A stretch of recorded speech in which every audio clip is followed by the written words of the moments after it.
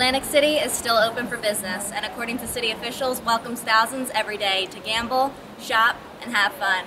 For the Rowan Report, I'm Lindsey Giannini. Rowan University is booming. An increase in admissions, budgets, and diversity have made all the difference. For the Rowan Report, I'm Lindsey Giannini.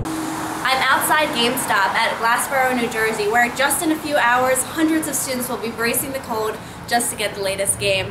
For the Rowan Report, I'm Lindsey Giannini.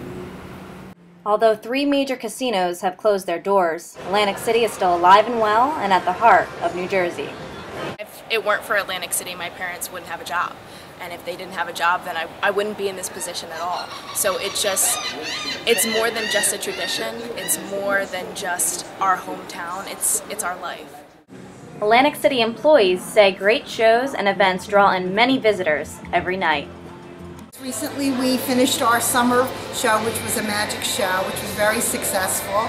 And since then we've had uh, actually entertainment every weekend, some big headliners. And then in November we start our Christmas show. The Atlantic City Alliance actually reported an increase in visitation from last year until this year. Oh, I just love being near the ocean and the weather is fine even though it's October and it's just gorgeous.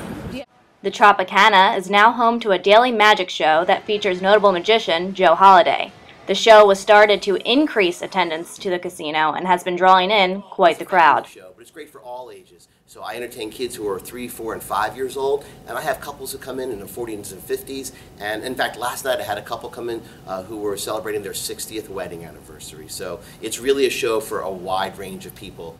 Atlantic City is still open for business and according to city officials welcomes thousands every day to gamble, shop, and have fun. For the Rowan Report, I'm Lindsey Giannini.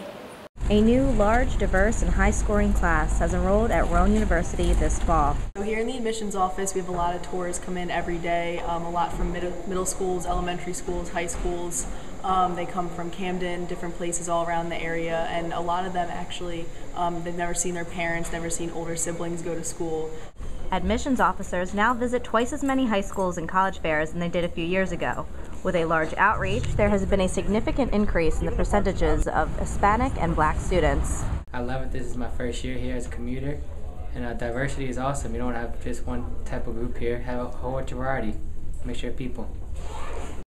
Although this year's upcoming class had higher SAT scores, Rowan will no longer require SAT scores in an effort to increase enrollment. Uh, the new upcoming students, senior class, or even transfer students, uh, they don't have to send in SAT scores specifically. Um, they can mainly focus on extracurricular activities or other activities outside of school that they do to uh, help them get into Rowan University.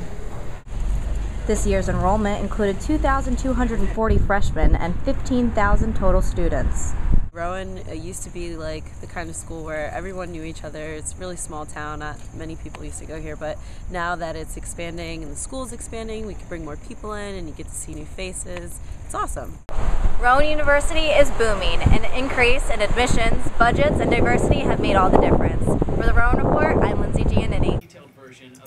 With Christmas just around the corner, Xbox and PlayStation 4 are starting to release the season's new games at GameStops nationally. Tonight, the release of Grand Theft Auto 5 will draw a large crowd.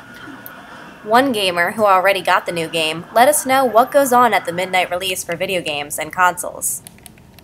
I actually had my brother-in-law wait in a line for the Xbox One. Um, it was a really long line and people there had food, tents, all kinds of things. Aside from tonight's freezing temperatures, GameStop employees are still expecting hundreds for their midnight opening. You can easily get 200. Sometimes major games do come out and we don't get that many people. We'll just get 80. But uh, we're all waiting outside in the cold, cold and they don't really mind. Some Rowan students are getting in line hours early because they can't wait to experience the new features. I haven't played it yet, but I played the uh, third one. It was really fun. Uh, it's cool. It's like an open world, uh, good graphics, like there's animals and stuff. This particular GameStop has over 200 pre-orders for the new Grand Theft Auto 5.